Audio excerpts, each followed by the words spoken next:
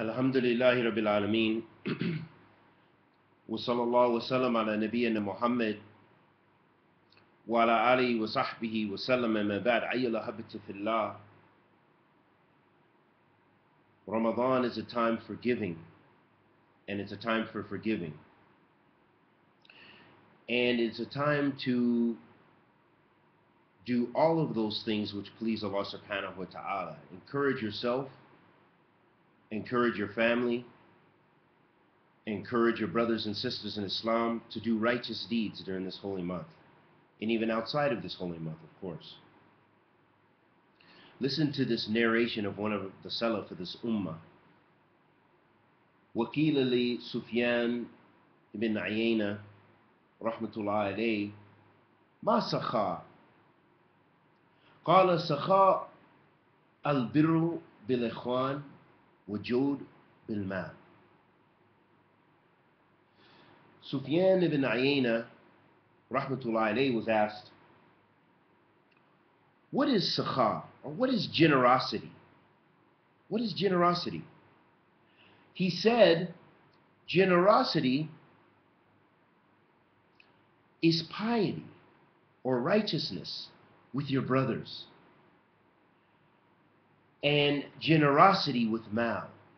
Allahu Akbar. Ahabati fillah, let's take a look at this statement of the Salaf and see how we can apply this to our situation and apply it this very day in this holy month of Ramadan. He said, rahmatullah he said, Asakha al-birru bil He said, generosity is being righteous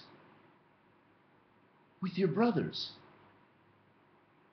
caring about your brothers, giving salams to your brothers, covering the faults of your brothers, bridging the gaps that have come between your hearts, between your brothers and sisters, supplicating for your brothers and sisters in Islam that are suffering in Iraq, that are suffering in Nigeria, that are suffering in Cameroon, that are suffering in Indonesia, that are suffering in Ethiopia, that are suffering in Somalia, that are suffering in Burma, that are suffering in Kashmir. Wajod bil mal.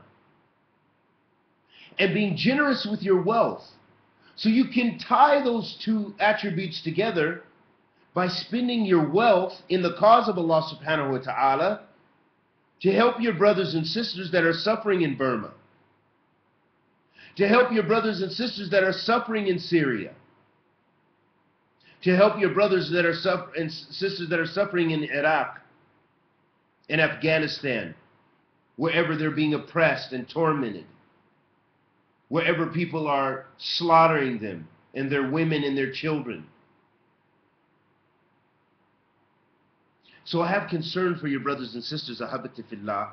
Supplicate for them, supplicate on their behalf, do righteous deeds, and try to uh, make the bridge the ties of brothership. And we ask Allah the Almighty to accept our good and forgive our evil. Anything I said that was correct was from Allah subhanahu wa ta'ala. Anything I said that was incorrect was from myself and the shaitan. Wa sallallahu wa sallam ala Muhammad.